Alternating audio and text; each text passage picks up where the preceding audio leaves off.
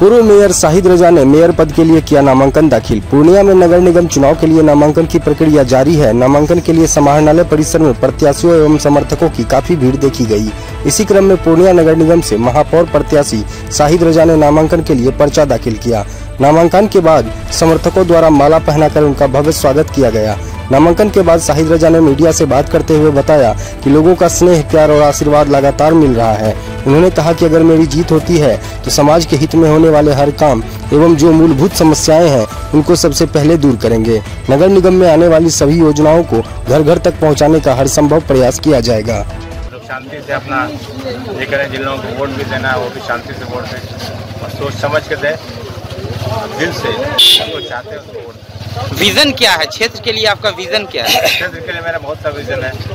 Vision हम पहले काम कर भी चुके हैं। बहुत सा ऐसा है कि हमको नाला यहाँ जल जमाव की समस्या है जो प्रमुख रूप से है। दूसरी बात है कि जो गरीब लोग हैं, जिनको आवास नहीं है, उनको आवास की व्यवस्था कर- कराना है। तीसरी है कि जो भूमिहीन लोग हैं, उनको ज़मीन नहीं है, रोड के किनारे, नहर के किनारे बसे उनको सरकारी आवास बना करके देने का व्यवस्था है। मैं करूँगा। दूसरी बात है कि बहुत सी जाम की समस्या है। बहुत सी समस्या है पार्क है।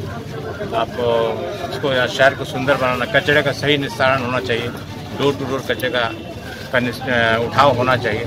जो हो भी रहा है और लेकिन प्रॉपर वे में नहीं हो रहा, उसको और मैं अच्छा बेहतर करूँगा और शहर को स्वच्छ बना के रखने की कोशिश करूँगा, शहर के माहौल को भी शांतिपूर्ण बनाने की कोशिश करूँगा।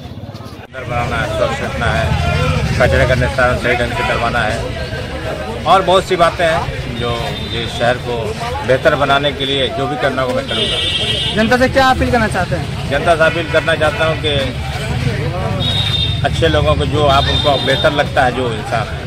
आप उनको वोट करें। ये दिल का मामला है किसी को ज़ोर ज़बरदस्ती को वोट ले नहीं सकता। अगर मुझे बेहतर समझते हैं तो हमको वोट करें। चूँकि आप नगर निगम में पूर्व में भी रह चुके हैं मेयर तो यहाँ के नगर निगम के जनता को कितनी उम्मीदें हैं आपसे? नगर निगम की जनता के को पहले उम्मीद से ज़्यादा मैं कर चुका हूँ। फिर लोग उम्मीद रखते हैं हमसे। तो उम्मीद है कि उनके उम्मीद पर मैं खरा उतरूँगा और उन्हें कोई दिक्कत नहीं